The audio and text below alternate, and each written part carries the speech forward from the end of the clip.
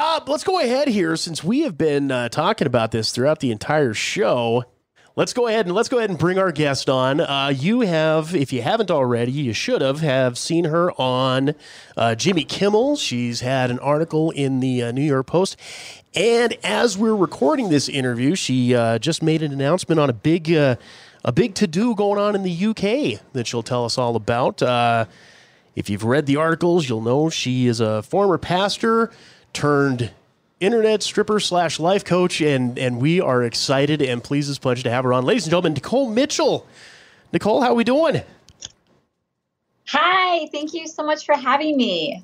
Well, and thank you for taking the time to be on here. Uh, this is this is by the way, uh, this is TJ you're speaking with. And I'm Jason. Hi, TJ and Jason. Hello.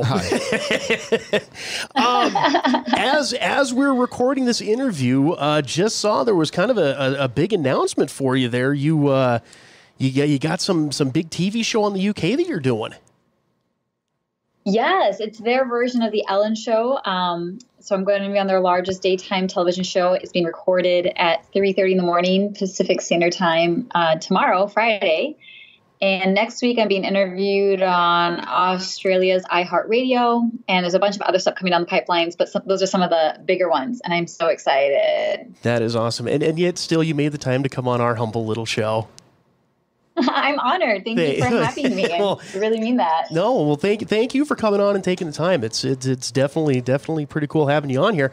Um, let's go ahead and get started because I'm sure you know from amongst our. Uh, our listener base, all all ten or twelve of them, um, probably not not not a lot. Probably really know uh, the Nikole Mitchell story other than just kind of the bare bones stuff. Mm-hmm. So, um, you know, just kind of uh, you know give give us a little introduction as to who is Nikole Mitchell. Great question. Yes, so I used to be a pastor of a megachurch. I was on the pastoral team there and uh, grew up in the church. My dream was always to be a speaker of some kind. And I actually grew up in a denomination that doesn't allow women to be teachers or leaders. But in my late 20s, I got involved with this megachurch that allows women to be leaders, radical concept, and thrived there just because I'm a, a natural leader. And they called me out to saying, You are a theologian, you should consider going to seminary. We'd love to mentor you and have you be a possible pastor here. And that was just such an honor and privilege and joy. And so I did that, was mentored by them for years, got on their pastoral team, um, loved a lot of it. But during this process, realizing like that's not really where I fully belonged. I realized I was queer in my early 30s and I had to keep that quiet because this church was not affirming and always had this desire to express myself in certain ways. But being high up in the church leadership, I was actually very much censored about what I could say and not say, do and not do. And through many events, decided to walk away from the church, from my leadership position, and very much follow Elsa in Frozen 2 by stepping into the unknown and seeing where this whisper was taking me. And it led me to a really unexpected and magical place where now I'm an online stripper. And so the tag the tagline has become from pastor to stripper. And it sounds radical and it probably is, but it has been a, a process in the making for years. And now that I'm here doing what I love, I am so happy. I am so grateful. There's no part of myself I have to hide.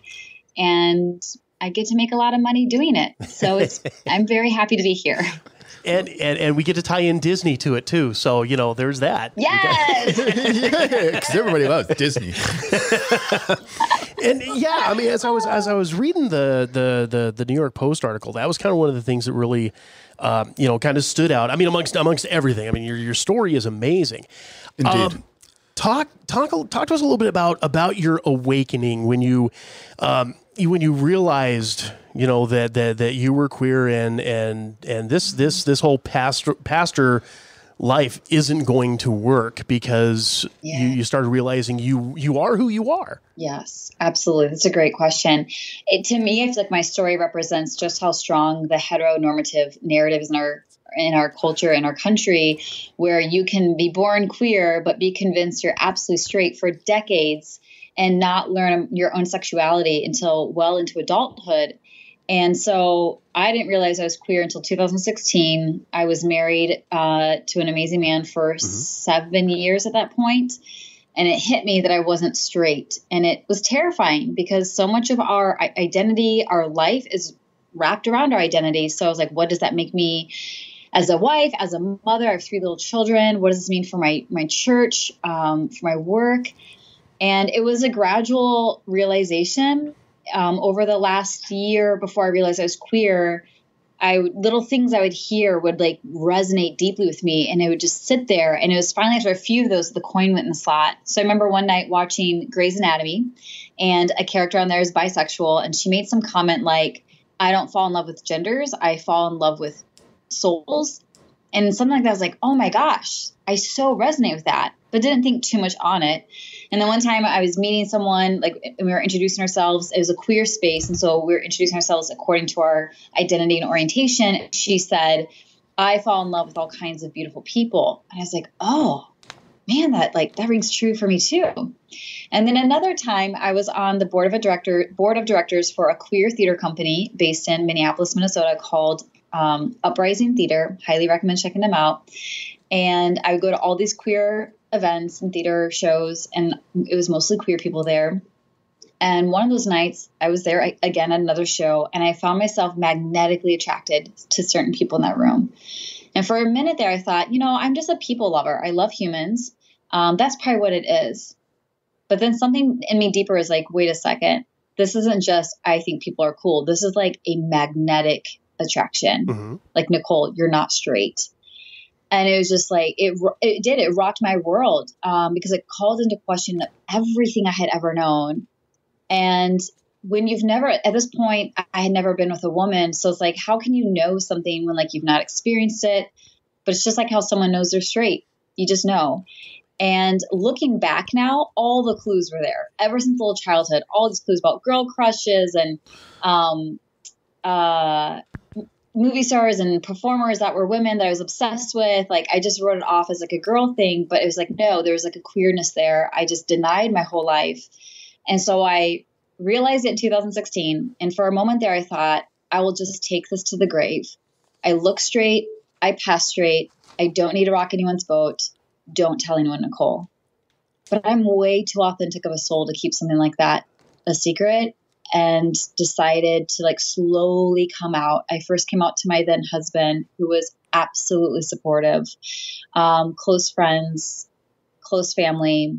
And then a year later, I decided it's time to tell the world. And I came out publicly as queer in 2017. So when and it brings a couple a couple of interesting questions here. Um, when you when you had you know come out you know, kind of talking about ramifications here. Um, mm.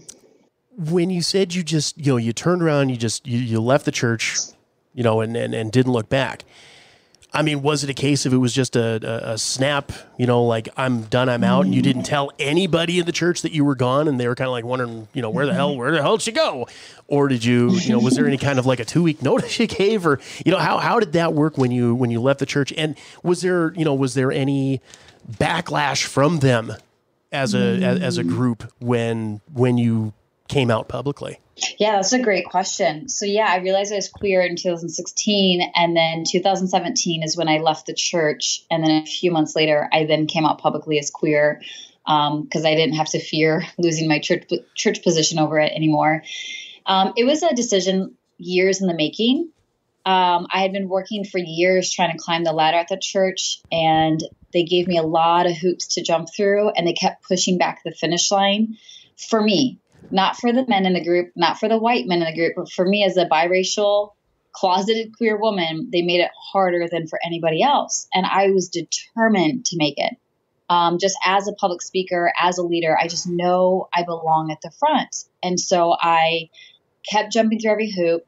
And just throughout the process, this is like a three year process. They would back down on what they would promise to offer me or opportunities they said they would give me, they wouldn't give me, and just kind of demoralized me over many years. Like, even though they chose me, handpicked me, mentored me, um, they would communicate that I was never good enough. no matter what I did, I was never good enough. And finally, I called them out on three years into this, saying, Hey, I just want to share my heart.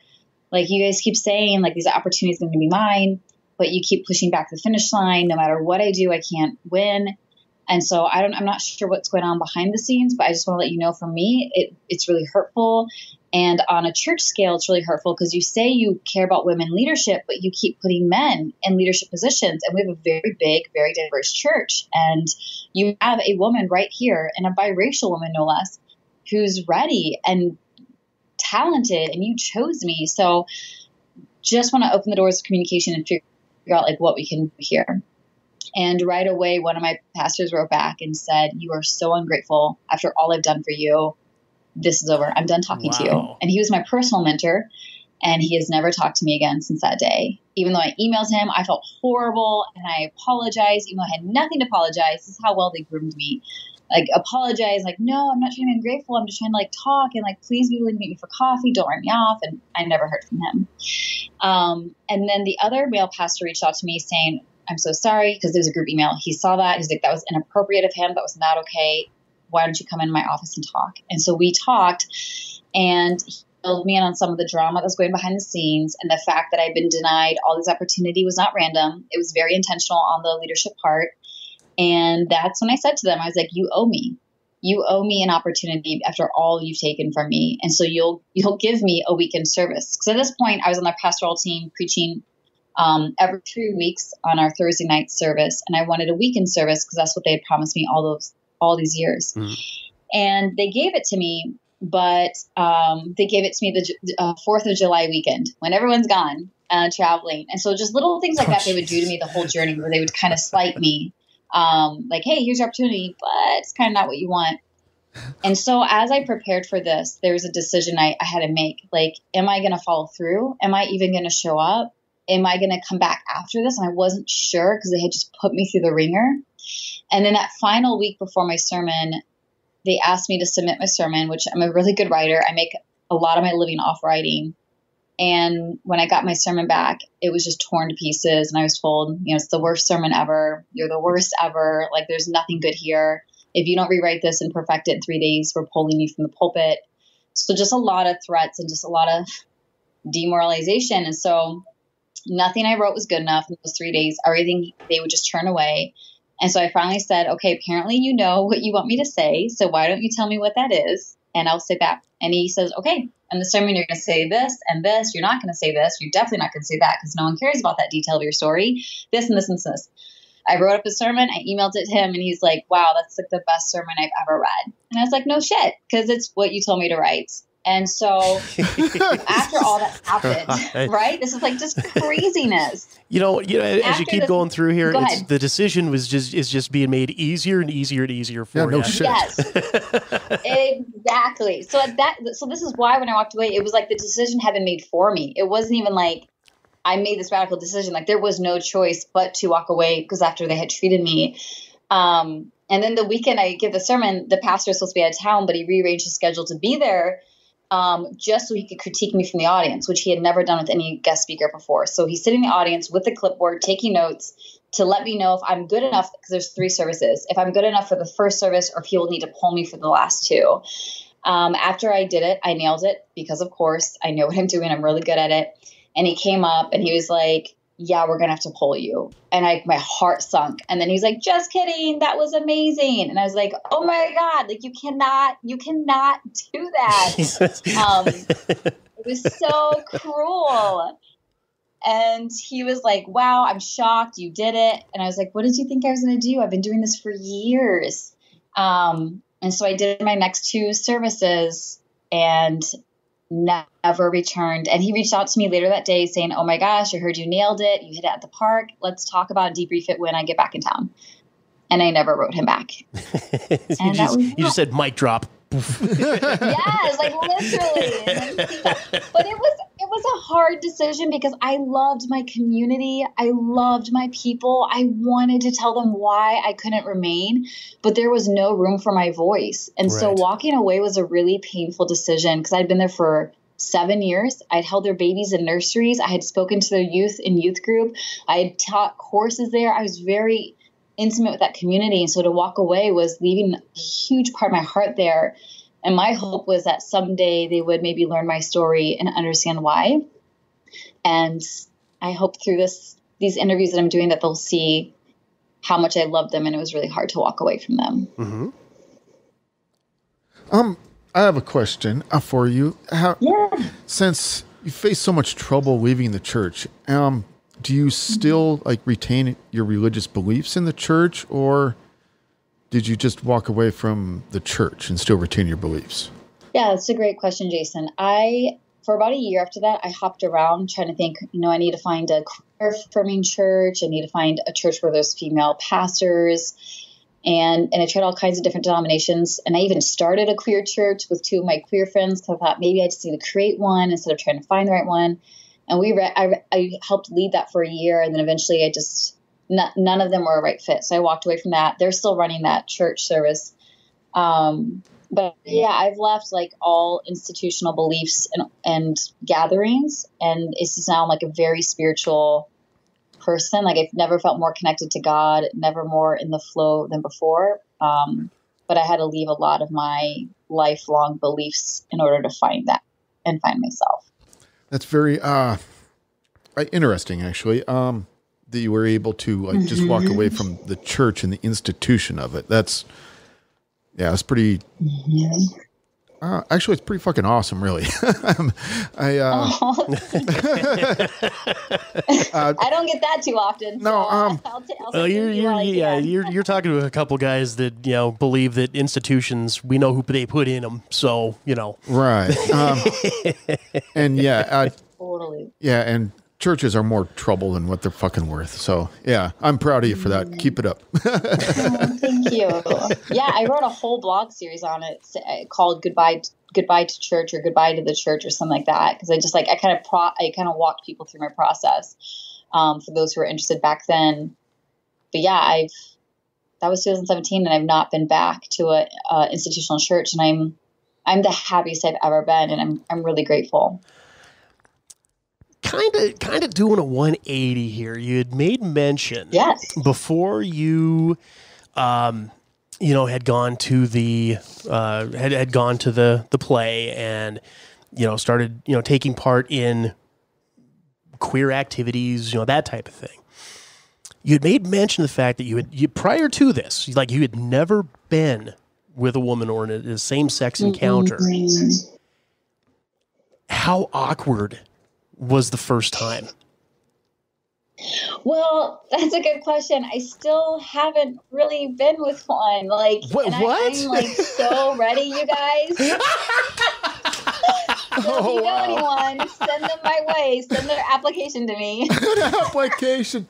Dear Lord, you, you turn Well- you turn queer and then COVID hits. Boy, that's that's a that that's yes, that's hitting the loser lottery right there. yes. But I did have like a makeout session with a trans person, and I had like never been happier. Um, and would totally have made love to them, but they weren't ready for that. And so that was like my first queer heartbreak.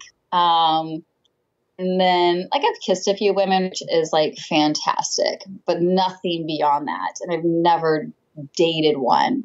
Um, and so I, I'm on dating apps for the first time in my life ever. I'm recently divorced. I got divorced in June. For, and my my ex husband are on really good terms. We're great friends, and I'm really grateful for that. And I have women, like I put that I'm interested in both men and women. And it's funny because with men, because I've been with men my whole life, I know how to work. I know how to work it, and I'm very confident. I'm badass. I know how to be sexy and fun. Like just be me. And I engage with them. You know, I go on dates with them. But when women like me back, I become like a little schoolgirl. I don't know what to say. I don't know what to do. I and I've literally never responded to any of the women who reached out to me. I'm that terrified.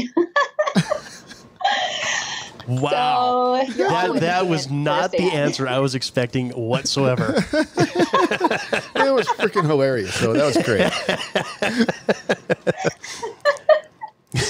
Oh my gosh, it's pretty comical. well, so okay, so kind of kind of here again, veering off into into another uh, deal. As you as you've progressed forward and you know, kind of you know, uh, doing the research, seeing you know some of the stuff on Instagram, which by the way, amazing stuff you, you got you got up there. Not just um, you know, not just the the lingerie and the and the and the and the, the, the, the stripper stuff, but also the motivational speaking and the the, the life mm-hmm. coaching. Um, which which came first? Now I know um, here again, going back to some of the previous articles and interviews you've done, you know, you said you kind of at a very very young age knew that you maybe didn't know what a stripper was, but wanted to be one. But when it came to, um, I guess your your chosen line of work, which one came first? Ooh, good question. Yeah. So I've been life coaching, officially life coaching for a few years now, but honestly, it's something I've done my entire life. I just didn't know that's what it was called. Didn't know you could make money doing it. Um, and when I did learn that, I finally launched my business in 2018 and doing really well with it. And I do love that. I love that about my, my social media profiles. You'll see gorgeous photos but I also post life changing content every day. I'm so committed to people finding who they really are, doing what they love, making a shit ton of money being themselves that I I want to help people. So I do free content, I teach courses, I run a mastermind. People can work with me one on one because I'm all about people having their wildest dreams come true. And yeah, since a child, I remember watching Full House as a little girl and loving Stephanie wearing her thigh high boots and spaghetti straps and things like that had always been drawn to as a kid, like belly shirts. And we're raised in like the conservative Baptist churches where like spaghetti straps are evil, anything above the knee is evil, thigh high boots is just asking for it. And so I learned very quickly that my what I wanted was bad. Um, who I am is wrong. And so I learned to stuff down these desires, but I would see like I wasn't even allowed to watch many kind of movies, but if I ever got to see a movie where there was like a bit of a sexual scene or a woman dancing on a pole or on a bar top, something in me is like, I want to do that. Like I was just magnetically drawn to doing that. But again, stuffing it down. And it wasn't until um, just about a year, a little over a year ago, um, my coach, my I have a life coach, and his wife does lingerie modeling, and back then she was doing implied model, implied nude and I was drawn to it. I was like, there's a woman, she's a wife, she's a mother, and she's doing this. And like, she represented to me what was possible. And so that's when I opened my OnlyFans, OnlyFans account, but honestly, just to like give myself a place to explore because that kind of content obviously can't go on social media. And I thought, well, I'll explore it. And if people want to watch me, they can pay me, which means it's going to weed out most people um, so it was like my little sanctuary to practice it. And the more I did it, the more I loved it. And just like I've evolved where it's like this desire has come alive. And I'm like, oh my gosh, I was just meant to take off my clothes. I don't know why. I don't know why. I'm just meant to. And now it's this full fledged business. And I love it so much. So, so it's it's a case of uh, at this point you've only you've only done it you know, as far as like online videos, you know, streaming cam, whatever on that end, you haven't actually like worked a club or anything like that. It's just been strictly the OnlyFans. Strictly OnlyFans. Okay. And like before I moved to California a year ago, Minnesota, and in Minnesota, I would go to a lot of like queer strip clubs and burlesque shows and um, drag shows. And whenever my friends and I would go, they would always hear me every time, oh my God, my next lifetime, I'm doing this, my next lifetime. And they're like, why not now? And I was like, are you kidding me? I'm a mom, I'm a wife. Like, I, I felt like I had missed my chance. And now that we're here, like, I, while I've only done it all online, I would be very open to doing it in a queer strip club. I would I would never do a conventional strip club. Queer spaces are just so amazing. Um, so I wouldn't be surprised if someday my work led me to that. So, so stay tuned. so we've kind of heard how you deal with trolls. Um, your uh, yeah. um, your other like maybe friends or family have they been supportive of your decisions? It's a great question. Um, considering my upbringing, uh, it's been really hard for them, and so I've lost quite a few um, family members and friends through the process, which is really hard and really sad, and but totally understandable, considering what they were taught to believe and what they still hold to believe to believe to be true today. It makes sense that what I'm doing is not okay, and so I am sad and but I totally understand. Um, but even though I've lost a number of family and friends over this, I have gained the most amazing community, the most amazing friendships and souls in my life, and it's been worth it as hard as it's been. Hmm. Honest answer.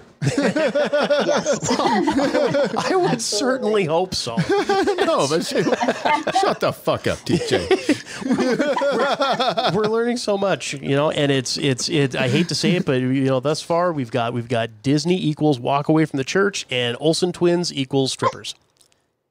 I'm loving it. I approve. It's not Oh, no. podcast interview. Well, we It's so good. Be- well, you know, like you say, you you you've had, you've hit the big time. You've got a couple of Jimmy Kimmel shows. You're doing the biggest show in the UK. We got to make sure that this is the one you remember. That's the key, you know. So, I love it. so uh, going through it, and I and I watched a couple of the, the the motivational videos, and you know, I mean, it's just it, it's it's amazing the positivity through you know through through all, through all of this, mm-hmm. where a lot of negativity could be coming through. So my two questions. So really, I got a couple questions leading up to this. Number one, where did you, how, what originated the amazing mantra of unfuck yourself? And and number two, do you have that on a T-shirt that myself or anybody listening would be able to to purchase? Yeah, we need to make that happen. I have so many quotes that my clients are like, "We need a shirt of that." I'm like, "We do." Um, so let's make that happen. Whoever's listening, help me figure out how to create a line of stuff to sell with my quotes. Um, We- another really popular quote in my mastermind is "Watch me, bitch." Like Nice. people who say, "Oh, you'll never do that," I'm like, no, watch me, bitch. I'm gonna fucking rise. Um, yeah, you know what's so funny is I, I think that actual quote "unfuck yourself" came from a client of mine where she messaged me saying, "Oh my god, I just love how much you're helping me. Like you're literally helping me unfuck myself." And I was like, "Oh my god, that is the name of my next course." I've I've like eight or nine courses online, and this one is called "How to Unfuck Yourself," and it's a four module digital course teaching you how to get out of your own way take radical responsibility and rise the fuck up. And it's one of my favorite courses. Um, and it's everything I had to do to get out of my own way and create the life of my dreams. And it's me trying to pass the the wisdom on to whoever wants it. Um, but yeah, I think like I've always been like the positive, see glass half full, trust that everything's working out for you kind of person. But for life coaching, it's so much deeper than that. It's not just having a positive attitude. It's it's creating and choosing, intentionally choosing core beliefs. So years ago when we were broke and no matter what we did, we could not ever make more money and we were like living off money from my parents, from my best friends. It was just incredibly humiliating of a place to be. And I, I thought I came to the conclusion, huh, we must live in a world where your dreams are actually here to be devoured. Because no matter how hard I try to pursue my dreams, they just get devoured. And because that was my core belief, I kept finding evidence for that. Once I like hired a life coach and started doing the inner work around my beliefs and realized there there was a world where people believe the universe has your back, that was a radical concept to me back then. And I was like, what? There's people who believe that? And my coach is like, yeah, and once you believe that, you're going to find evidence for it.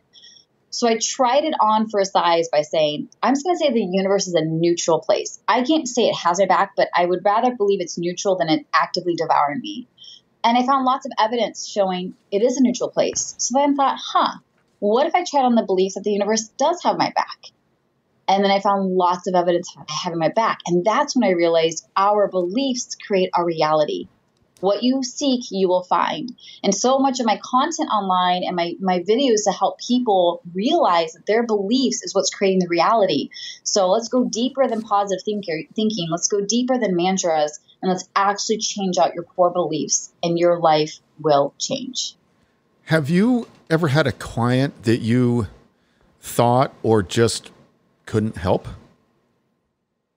Ooh, that is a good question. I've never been asked that before. Fantastic. I love when I'm asked a question I've never been asked before. We try.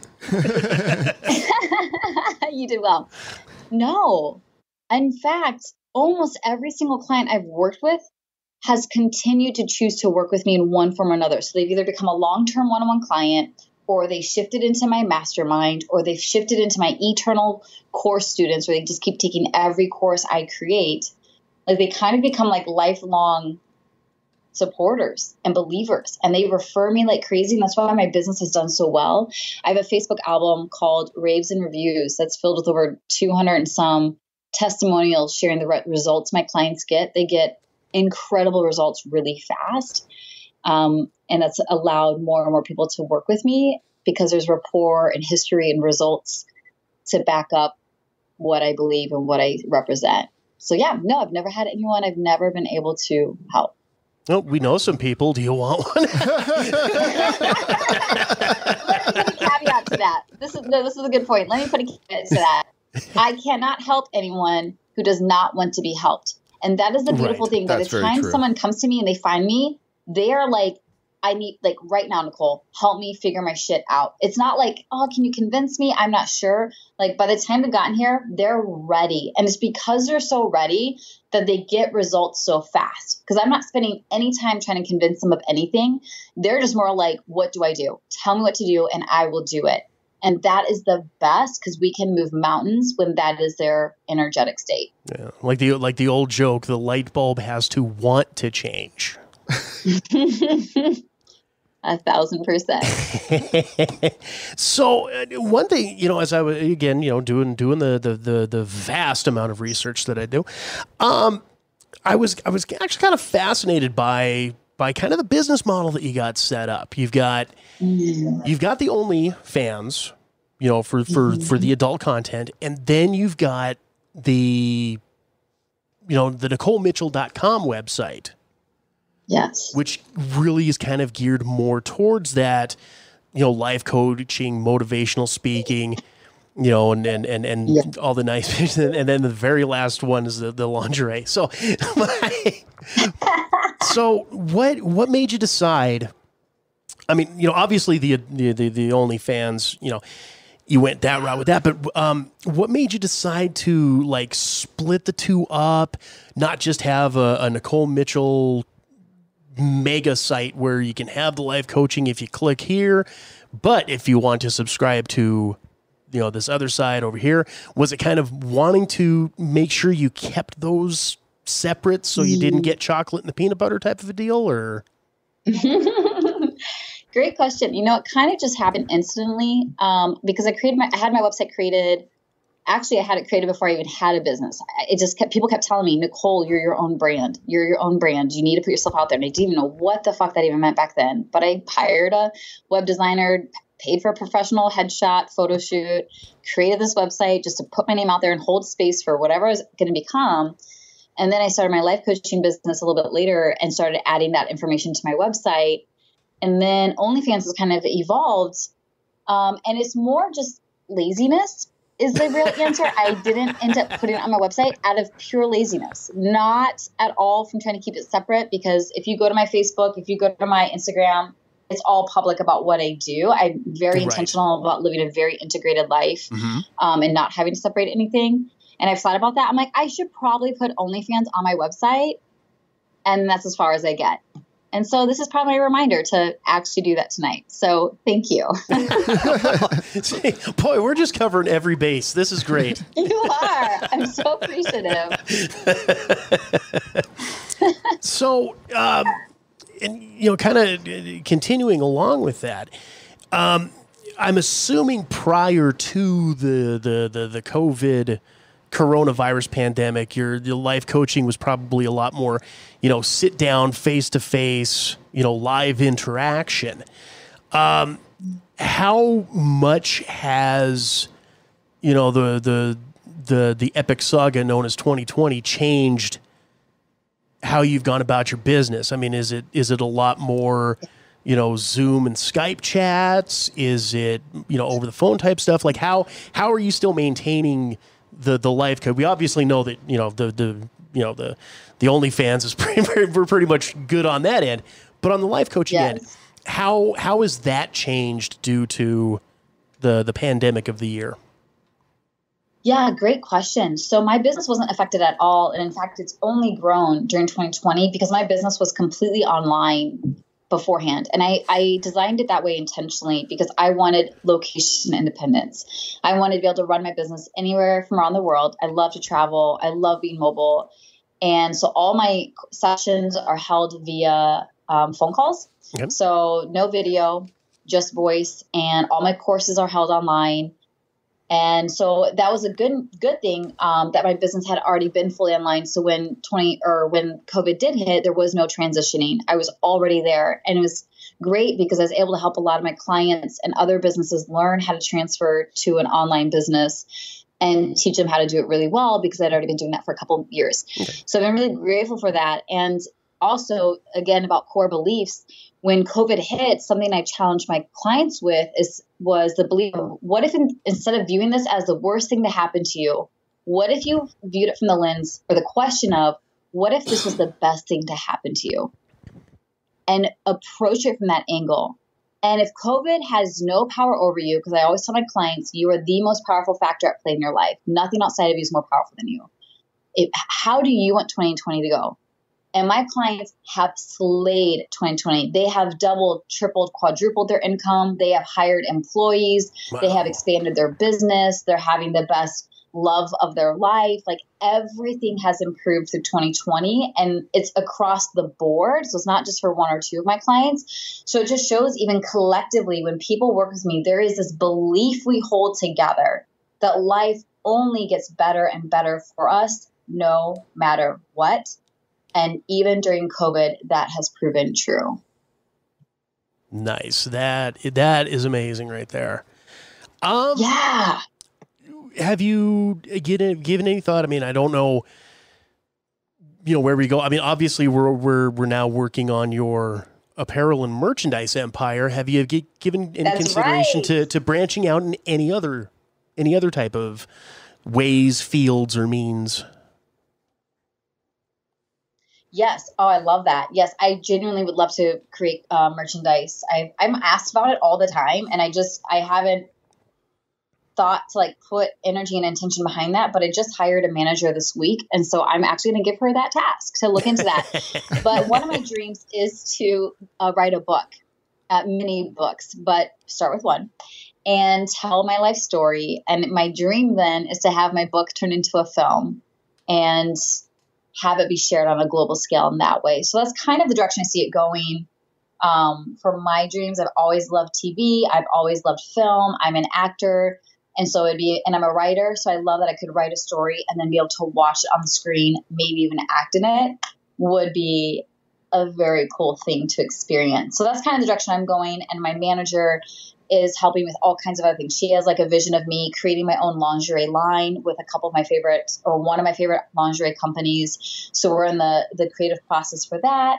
So it's been really cool to see like a bunch of bunch a bunch of new possibilities be born as a result of my story going viral and I am here for all of it. I'm here for the creativity, I'm here for the ideas, I'm here for the options, and I'm just as curious of which ones we'll dive into and we'll take off as a result. And we're here for the first rights to interview when that movie comes out. Yeah. Okay. it's gonna happen. Dibs. It's Dibs on Nikole. you heard it here first, kids. um. Yes, you did. so, so then you know, with that, with that being said, what, what for for for for Nikole Mitchell looking in the mirror, what what's the end game? What what's your what's your end goal? Hmm. God, you guys, you're so good with questions. I love this. I mean, this might sound more vague, but it's very true to my heart. I want to see how far I can go. I want to see how good my life can get. I want to see just what a breathtaking reality I can create. So I have a dream and a goal, and it's going to fucking happen because we're talking to Nikole fucking Mitchell of being a billionaire. Because again, one of my core beliefs is anything is possible. There's no order of difficulty in miracles. There, it's no harder for one miracle to happen than for another. And so I teach my clients that like it's no harder for the universe to deliver you $10,000 as it is to deliver you a million dollars. What are you available for? What do you feel worthy of? What do you feel safe in receiving? And so, because I understand like a uh, basic understanding of quantum physics and energy and what is possible.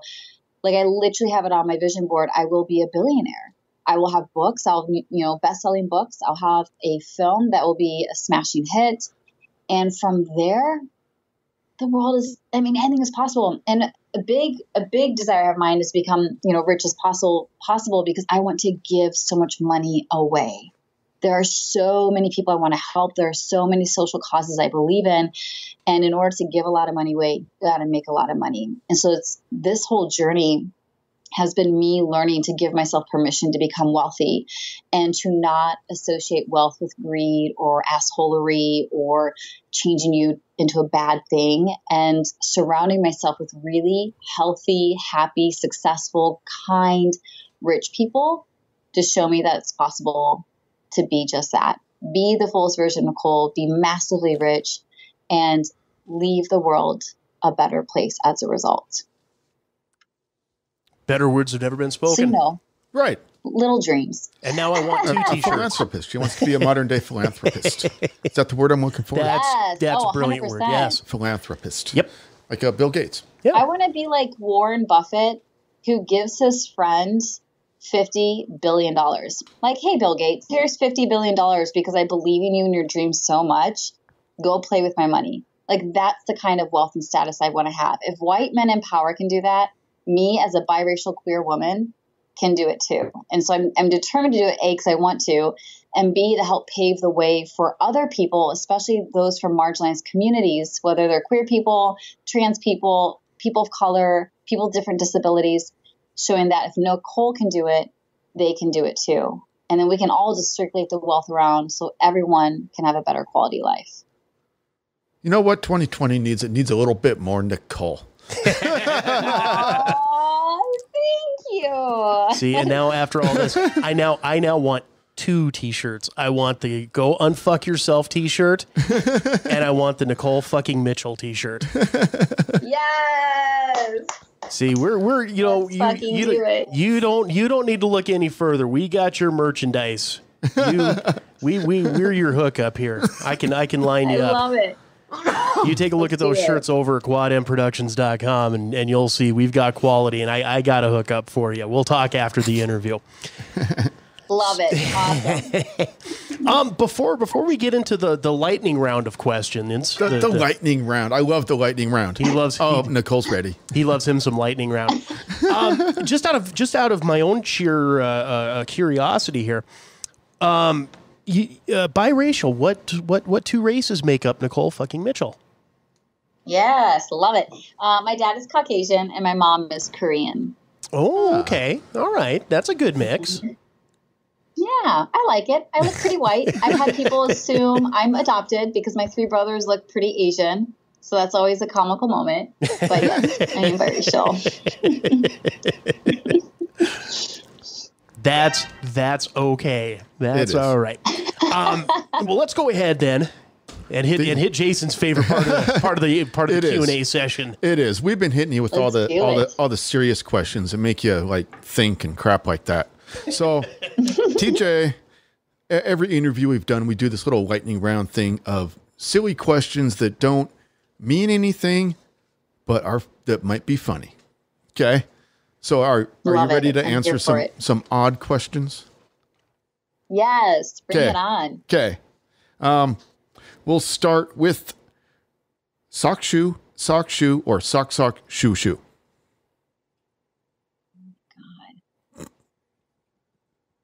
Sock, sock, shoe, shoe.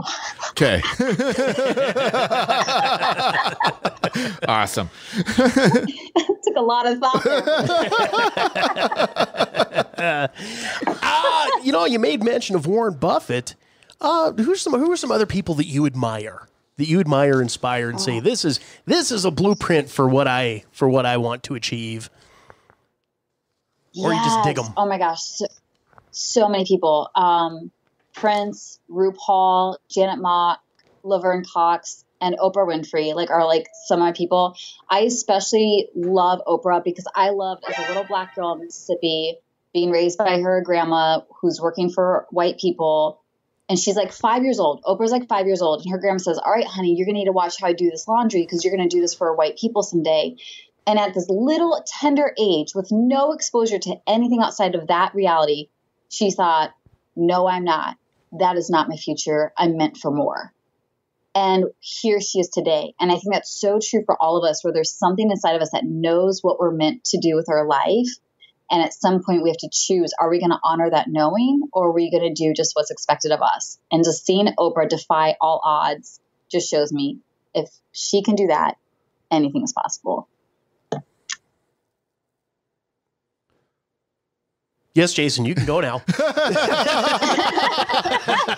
much for lesson answers. I just like dive deep, but keep going. Okay. little little calm during the storm. Don't worry about that. In the first few seconds, do you hope that it's ice, ice, baby, or under pressure? ice, ice, baby. Huh. You're the first person to answer ice, ice, baby. No way! I'll take it. I'll take that, that title. Has anyone ever mistakenly booked you for an interview or a show thinking that you were a former uh, Jamaican gold medal sprinter Nikole Mitchell? No, but I wouldn't be surprised if that happened. I have Googled my name and I found that to be true about me. That's funny. Okay. What do you find sexy? Oh my gosh. Two things. I mean, things. Someone who is fully living out their purpose, such a turn on, and someone who is confident, super sexy. Mm? All right. Ranch or marinara? Say that again. Ranch or marinara? Marinara. Spicy. Marinara. so, um, many different art forms pictures, photography, painting, music. Um, what is your favorite? Music. Music? Yes. Who's your favorite music soul artist? Like nothing else. Go ahead. Who's your favorite music artist then? Okay, this is a little tricky. Um, I love all kinds of artists, but my favorite music to listen to, you're gonna laugh. If I Google it on YouTube, it's called emotional epic music. And they're really intense emotional soundtracks that get me in the flow, and I create some of my best content when I'm listening to this really intense music. And I, I feel unstoppable. I feel powerful. I feel like I'm going to conquer the world. So I listen to it pretty regularly. It's the uh, motivational speaker form of uh, lo-fi beats and hip hop for studying. exactly. TJ had a confused look on his face, like he didn't understand. I got, I got someone. I got, I got a video of someone doing dubstep with rubber chickens. If you want to watch that, that's pretty entertaining too. Motivational content right there.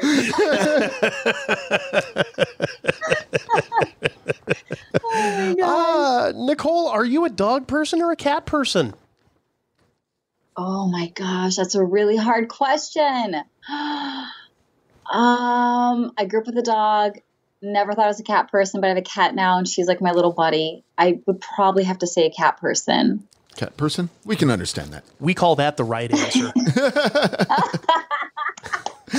So, Good. Good. I got got that right. okay, gonna sneak another one in here on you. Would you rather be caught lying or have people not believe you when you tell the truth? Oh my gosh. Have people not believe me telling the truth. Have people not believe you? Yep. It's a hard one. Yeah, that, I think That's, that's, a brutal the, question. Yeah, it is. It's a tough question, and I think I like having people not believe you is the right answer because at least you're not lying. Right. Yeah. And it also represents my life. Um, I think people can believe, like, come to me and like whether it's my life coaching content, they think they think I'm crazy, or they see my photos and they, they just assume I'm doing it for attention. So I'm used to being misunderstood, but I still live my truth every day. Okay. And speaking of every day, like Nikole goes to bed probably whenever the fuck she wants. Nikole wakes up in the morning. How does she start her day? What do you do? Do you get your Mr. Coffee going with a cup of Joe and or what? Or I mean, everybody's got a routine. Yes. Yeah, I actually don't really drink coffee. Um, I always wanted to because I feel like that's like a marker of adulthood. So I feel like I've never fully reached adulthood because I don't really drink coffee. So I'm still working on that. Um, yeah, you can start up, off light by going to. Starbucks. What? You can start off light by going to Starbucks before you work your way into like full fledged like truck stop coffee. Oh you, you don't have to like Oh, yes, I have to have lots of cream and sugar for you to drink coffee. This is true. um, I have a rhythm uh, where I wake up and I take a few moments every day to get grounded. So whether I ask Alexa to turn on meditation music, I pick up a book. I always have a book on my night table. It's like a memoir or a motivational book. I'll read a paragraph or a page. Um, I'll read over some affirmations, or I just sit there quietly and just remember who the fuck I am. Because I tell my clients we kind of wake up with amnesia. We kind of forget who we are, even especially where, where we're going, who we're becoming. And so if you just spend a few moments in the morning remembering who you are and what you came here to do and how powerful you are, it changes the energy and the course of your day.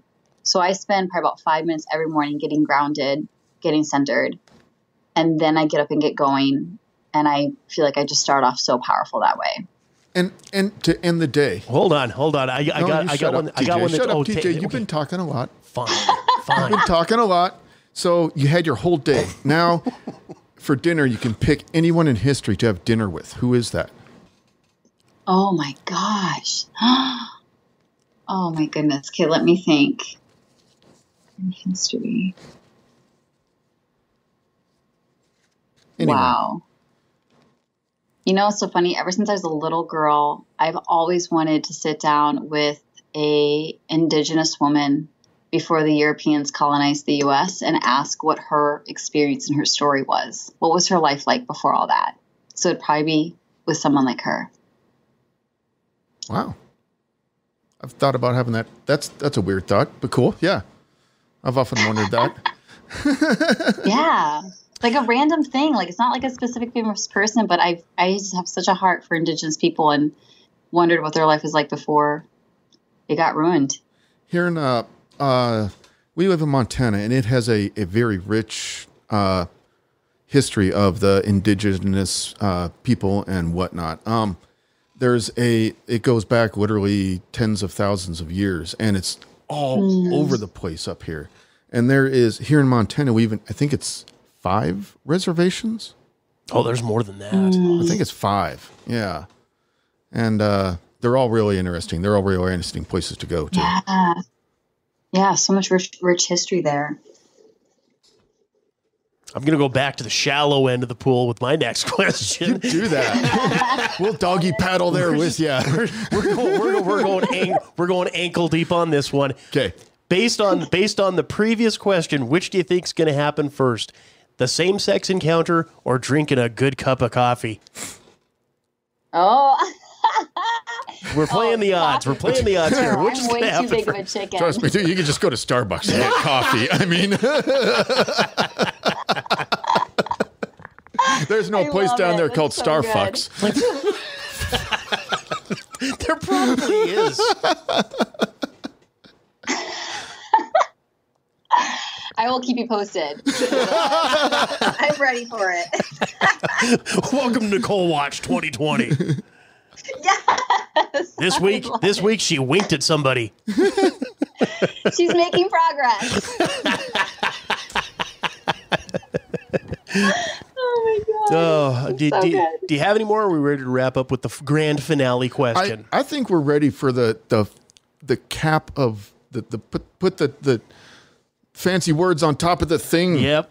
question. This this is the one we ask. We, this is the key one that we ask all of our interviewees. Jason, if you would please. Nikole, what is your favorite dinosaur?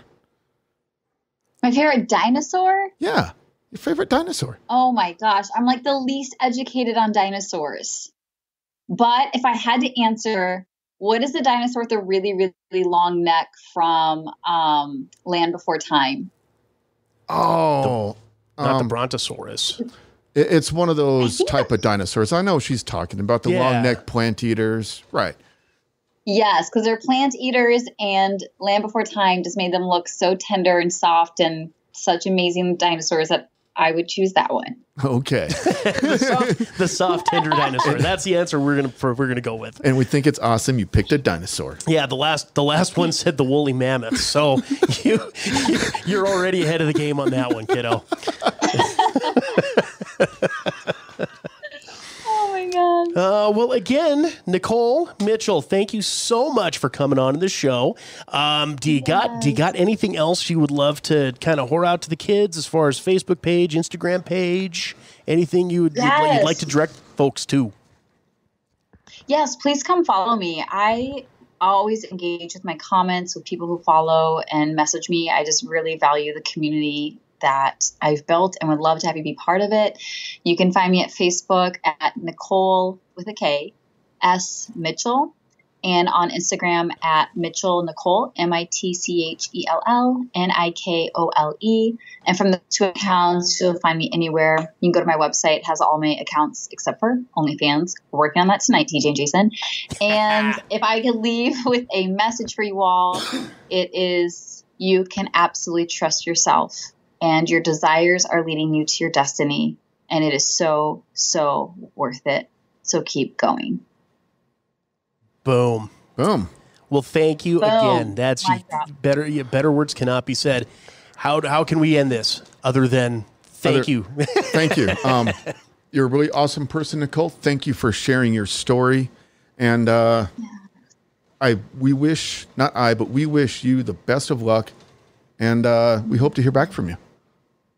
Thank you so much. I had a blast with you guys. You were awesome. Definitely, we'd love Thank we'd love to get you me. back on. You know, down down the road here, we'd love to get you back on and hear some more tales. Yeah. be great. Yes, I'll update you. That was so fun. we'll want to know all the good stuff. yes, I'll save it for you guys. and for all you guys out there, as always, uh, let's go ahead here and. Uh,